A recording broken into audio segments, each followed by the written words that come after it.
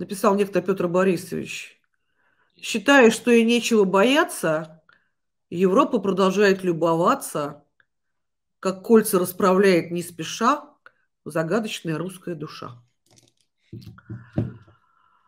А, я думаю, что кольца расправлять не спеша сейчас а, вот это все, этот страшный дав над всеми заключенными политическими. Вы знаете, не, не, не зря, недаром жена международного преступника, осужденного уже, да, Гиркина, начала хлопать крыльями и говорить, ах, Гиркин в опасности. Да, да, она как хотела. Сейчас все политические в опасности. Алексей Навальный признавал Гиркина политическим. Ну, я нет, мемориал нет. А, просто я об этом напоминаю, что были, были такие мнения, тем более Алексея Навального, я напомню. Он, конечно, на мой взгляд, никакой не политический, а, но да, он э, не то чтобы противник, он насолил Путину, и это сейчас вполне достаточно того, чтобы оказаться тем более ему за решеткой, несмотря на то, что именно он развязал войну, мы помним, именно он сбил малазийский Боинг и так далее, и так далее, и так далее. Клейма на нем ставить негде. А, но вот настоящие политические заключенные, они, конечно, а, в очень большой опасности по самому, причем разному поводу были до сих пор. Например, Владимир Карамурза, у него заболевание, которое даже по официальным российским документам не позволяет находиться в тюрьме. И я много раз разговаривала с его адвокатом Вадимом Прохоровым, который тоже уже вынужден уехать э, из России э, в прошлом году. И он говорит, что он с тюремными врачами разговаривал. Они тоже дают, что ну год-два. Ну и, собственно, ничего больше делать не надо. Да, он сам умрет. Э, и да, это заболевание, все надо отпускать, актировать человека. Никто ничего не делает, сделать это невозможно. Закон какой закон? А, ну вот Илья Яшин, Алексей Горинов, а, Лилия Чанышева. А, люди находятся в очень большой опасности. Хотя бы потому, что, вы знаете, никогда не будет команды письменной или телефонограммы там или что. Вот завтрашнего дня давайте мучить политзаключенных. Не будет этой команды. Люди все прекрасно понимают, как не было команды включать пытки, выключать пытки, потому что военный товар – не портите. Сейчас дана, дана команда, можно. Все что угодно можно делать. Можно мочить, можно. И ничего вам за это не будет. Вот давайте, давайте.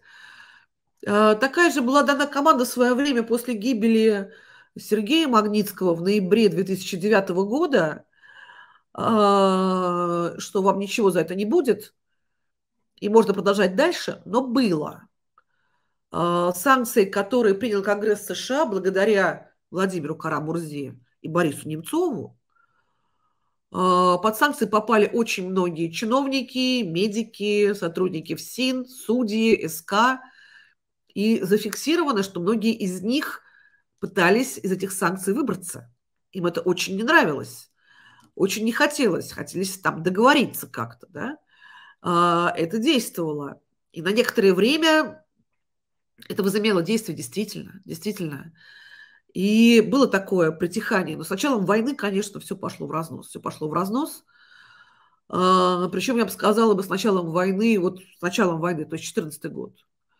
14, а, с 14 года а, к политзаключенным отношение во ФСИН стало резко ухудшаться.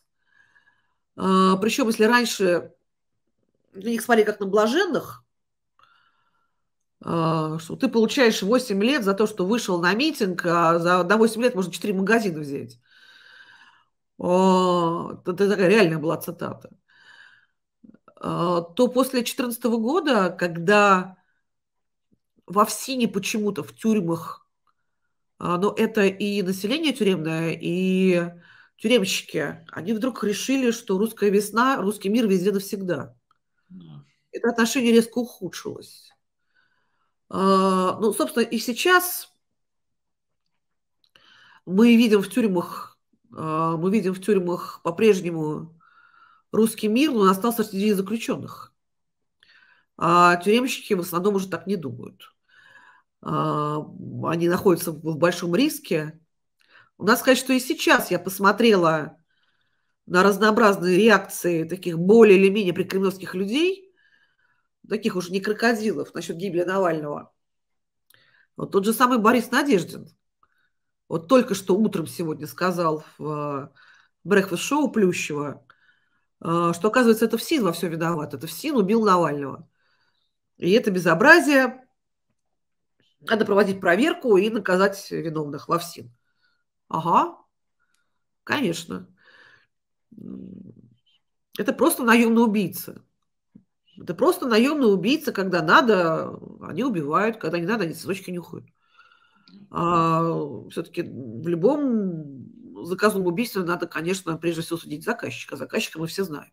И вообще в нем ни разу не сомневаемся. Да, нечего искать. Нечего его искать. Это Путин. И э, сейчас такая ситуация, понимаете, вот убийство, э, убийство Анны Политковской. Совершенно очевидно, что по э, заказу Кадырова на день рождения Путина 2005 а, год.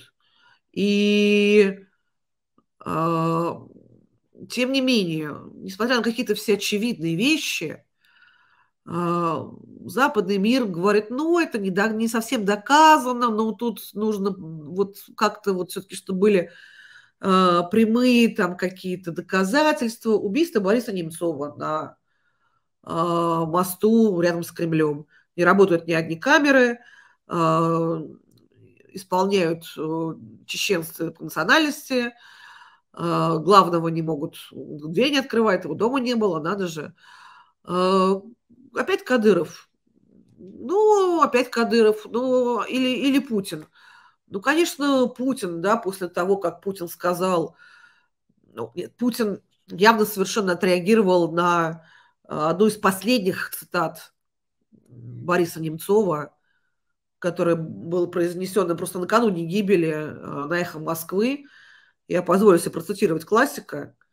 Э, Борис Немцов в ответе на вопрос, кто такой Путин, что, что с Путиным, он ответил, да он собственно, это был, были его последние слова практически. А, и вся остальная наша жизнь подтвердила его правоту. Тем не менее, Запад говорил, ну, знаете, может быть, это Кадыров, а может, Золотов.